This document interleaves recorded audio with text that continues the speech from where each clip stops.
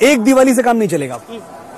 एक दिवाली हो गई और उस दिवाली के बाद जनवरी में 22 जनवरी को भी दिवाली मनाई जाएगी। ये दिन इतना बड़ा है और इतना बड़ा क्यों है? क्योंकि 500 वर्षों के संघर्षों के बाद ये दिन आया है। ऐसी थोड़ी कि दिन हम सुबह उठे हमने आँख खोली और कैलेंडर पे तारीख आ गई और राम मंदिर बन गया।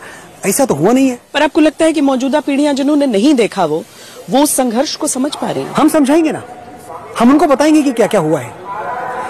छिहत्तर युद्ध लड़े हैं हमने। एक दो नहीं राम मंदिर बनाने के लिए 76 times we have fought battles इसीलिए एक बात जो अयोध्या के लिए कही जाती है कि इसके नाम का तात्पर्य एक कहता है कि जो जहाँ कभी युद्ध नहीं हुआ और एक कहता है जिससे कोई युद्ध लड़ नहीं सकता है क्योंकि विजय अयोध्या की ही होगी। तो जहाँ कभी युद्ध नहीं हुआ की भी बात लोग कहकर ये कहते हैं कि अरे ये तो सिर्फ़ राजनीतिक युद्ध है जो यहाँ छिड़ा। इस देश में राजनीति अगर हुई है ना तो हिंदुओं के साथ हुई है। और बहुत ओछी राजनीति हुई है। हमने नब्बे का दौर देखा है। अभी हम बात कर रहे थे जय श्री राम के बारे में, कैसे अपराध की श्रेणी में आता था। अब तो राजनीति नहीं हो रही श्वेता अब तो रामनीति हो रही है। और इस रामनीति को कोई रोक के दिखाए, ये जीवन पर्यंत होती रहेगी।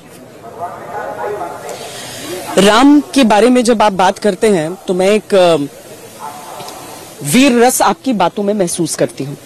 पर वो राम मंदिर के निर्माण से जुड़ा रहे वो भाव तो एक तरफ़। राम जी है मर्यादा। जी। राम जी है विनम्रता। कहते हैं कृष्ण जी को अपनी तारीफ़ कितनी भी उनको सुना दो मंद मंद मुस्कुराते हैं। राम जी अपनी अपनी नज़रें नीची रखते हैं सर झुकाते हैं क्योंकि उनको थोड़ी झिझक होती है अपनी तारीफ़ सुनने में। तो ऐसे भगवान के लिए कविताएँ रचने में वो शब्द गढ़ने में कठिनाई आती है।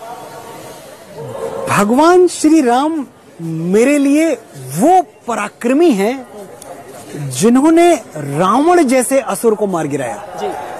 तो उनकी सौम्यता उनका सौहार्दपूर्ण व्यक्तित्व उनकी निर्मल मंद मंद मुस्कान वो सब अपनी जगह। लेकिन ये भी सच है कि जब भगवान श्री राम को शस्त्र उठाना पड़ा है तो उठाया है और समुद्र को सुखा देने की शक्ति थी उनके। विनय नमानत मानत जल्दी जब गए तीन दिन बीत।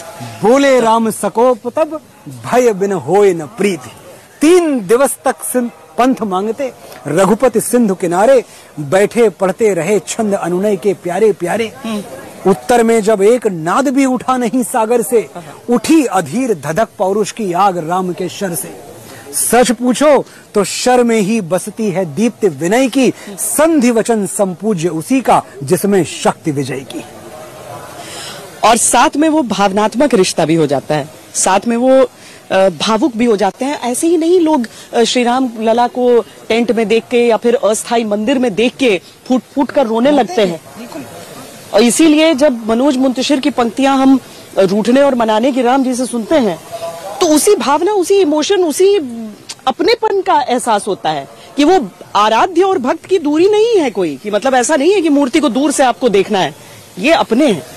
जन्म जन्म की खोज बताएँ। राम से चल के राम पे आए। प्रेम कोई हम और न जाने। राम से रूठे राम से माने। राम सिया की करुण कहानी एक है चंदन एक है पानी। इतनी सी तो बात है। हाँ। और हमने इस देश में कितने वर्ष कितने वर्षों तक एक बात देखी है कि जो रामद्रोही थे वो ठाट में रहे और हमारे रामलाला टाट में रहे। अब दिन बदले हैं अब तो हर्ष का अवसर है। अब दुनिया बदल चुकी है। सोया हुआ सनातन चैतन्य है सजग है। वो वक्त कुछ अलग था ये वक्त कुछ अलग है। आज अस्थाई मंदिर का अंतिम दिन है। जी जी। आज अस्थाई मंदिर का अंतिम दिन है जिसके बाद उस भव्य मंदिर में रामलला चले जाएँगे जो महल है और उसके साथ ही एक और विग्रह रामलला का रहेगा। जी। तो ये केवल ऐसी बात नहीं है कि यहाँ पर कोई अनुष्ठान हो रहा हो जिसमें केवल जो पुजारी हैं वो लगे हुए हैं? यहाँ पूरा राष्ट्र एक हो रहा है। बिल्कुल राम राष्ट्र पुरुष हैं। हमारे देश में तो ऐसी ऐसी अफवाहें फैलाई जाती हैं कि भाई देश के इस भाग में राम को मानते हैं उस भाग में राम को नहीं मानते उत्तर में मानते हैं दक्षिण में नहीं मानते। मैं अध्ययन करके बता सकता हूँ ये बात। कि पूरी दुनिया में श्री राम को माना जाता है। ये बहुत बार कह दिया जाता है कि राजनीति आप लोग करते हैं इन चीज़ों पर या फिर धार्मिक उन्माद फैलाने की कोशिश पर राम के साथ मुझे लगता है उन्माद शब्द जुड़ ही नहीं सकता है। बिल्कुल नहीं राम के साथ नहीं जुड़ सकता। और जब हम हिंदुत्व की बात करते हैं हिंदुत्व के साथ भी नहीं जुड़ता है। हिंदुओं की जो सहनशीलता है वो अपने आप में अनुकरणीय है।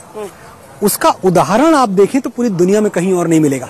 आप बताएँ क्या दुनिया के किसी और कोने में यह संभव था कि 100 करोड़ की मेजोरिटी से उनके भगवान छीन लिए जाएँ और वो चुपचाप हाथ जोड़े न्यायालय के आगे प्रतीक्षा करते रहे कि एक दिन हमारी सुध ली जाएगी एक दिन हमारे भगवान आएँगे।